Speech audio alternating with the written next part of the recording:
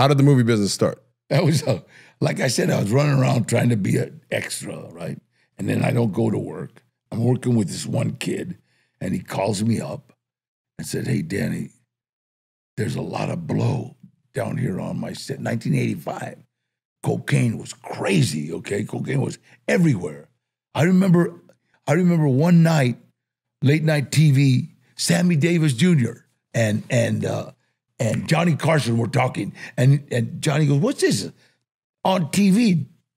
Sammy Davis, that's my coke spoon, and he goes. Oh, you yeah, blah, blah, blah. And they started talking about cocaine. Yeah. It was on national TV. I'm like, damn. And then, so I go down. This kid says, "Can you can you come down here?" That's what we do. We hang out with people that want to stay clean. Yeah. And and it's funny because he says, "I think I'm going to use." I've been out of the joint from 1969. This is 1985. Nobody ever called me and said, "I think I'm going to use." Everybody always called me loaded. Yeah. or, Yeah. or from a bar. "Eh," Yeah. you know. And so this guy said, "Yeah, yeah, come on over." He said, "I can't. I got, I got this job." I go down to this job. His job was a was a movie set of a movie called Runaway Train. Jon Voight and Eric Roberts. I walked onto that movie set. That was the cutest thing I'd ever seen in my life because all these guys were dressed like they were dressed like convicts, right? And but they're all walking around going, "Hey, fucker, watch out, puto, hey!" And prison is the most polite place you'll ever be. Uh huh. Because if I'm a murderer and you're a murderer, you're the last guy I want to offend. you're, I'm coming, you like, I get it. excuse me, oh, sorry, Yeah. bro. You know, Yeah.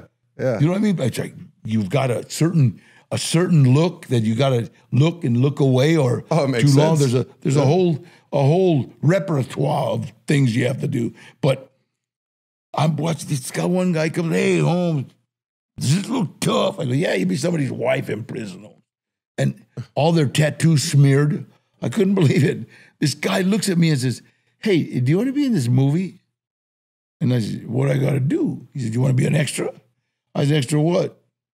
He says, can you act like a convict? And when he said that, I almost laughed. I said, I'll give it a shot.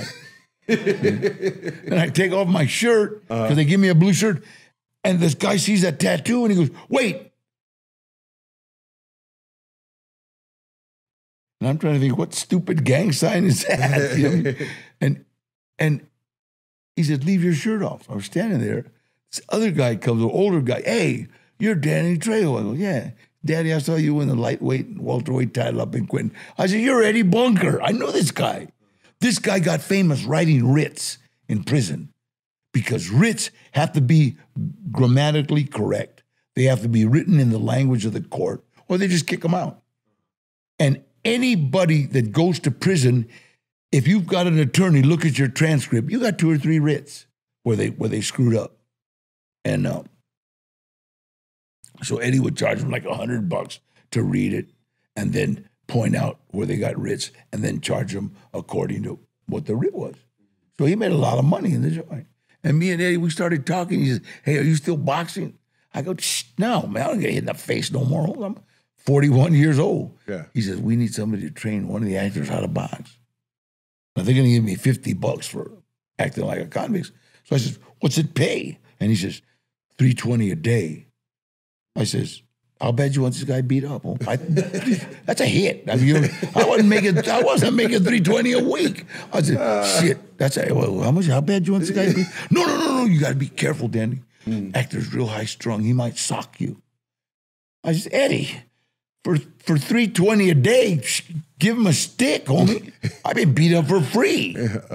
I started training an actor named Eric Roberts how to box for the movie Runaway Train. Mhm. And Eric respected me, you know what I mean? And uh, Eddie had told him, you know, he's a lightweight, welterweight champion of Quentin, bad, blah, blah. So Eric respected me quite a bit and would do whatever I told him to do. And Andre Kozlowski, the director, you, you got to remember, Eric was a movie star at that time, big movie star. And movie stars are dicks, okay? They they got just they're just dicks. And uh and so it Andre had a hard time communicating with Eric. And then uh he saw that I would he would do whatever I told him to do. Mhm. So I, I'll never forget. He came over and Andre, real soft spoken, he goes, "Danny, you be in movie, and you fight Eric in movie, and you be my friend." Now, prison backgrounds, you don't like hear people saying, "You be my friend," because there's a lot of things can go wrong there. And so, and then he leans over and he kisses me on kisses me on one cheek, kisses me on the cheek, and walks away. Mm. And I told Eddie, look, Eddie, I'm gonna train the kid for 320, but if I'm gonna be kissing that old man, I want more money. And Eddie, goes, no, no, he's European. He, I never, I you know, okay, why are we kissing? And uh, and I found out that's Yeah. what Europeans do. They kiss, you know. So Yeah. I like it. And but you know, I that was where I got a SAG card. I got I got all the all the things that an actor gets. Uh-huh. And from there, the first five years of my career, Tony, I, I played inmate number one. Inmate number one, bad guy, tattooed dude. You know, that's I never had a name. First name I got was Art Sanella in Death Wish 4. I played an Italian. I didn't get to play Mexican.